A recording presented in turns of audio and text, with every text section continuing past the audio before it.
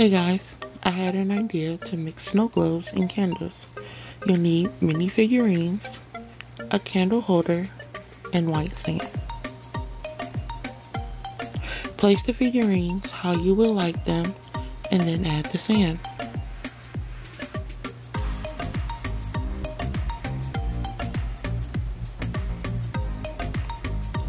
Here I forgot to record the finishing of the first one, so this is the second.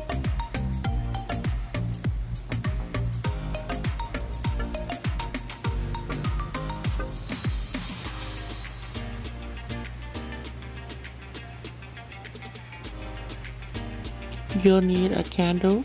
I chose white so that I could color it.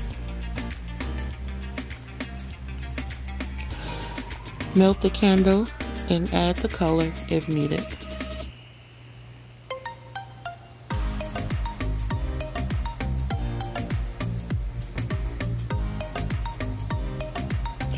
Make sure to add a wick, either from the candle you melted or a new one.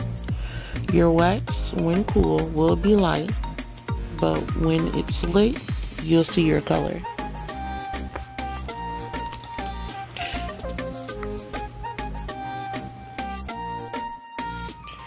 After cooling, I added a Christmas ribbon.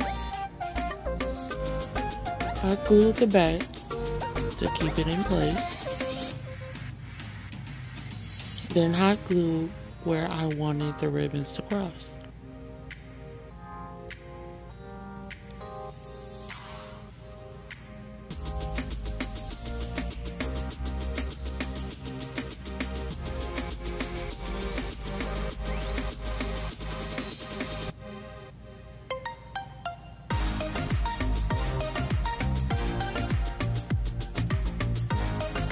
Cut the ends and then added a little.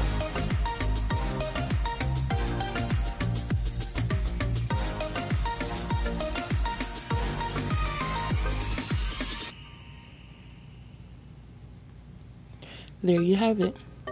Thought this was something cute to give as a little gift or just decorations for your home. Thanks for watching.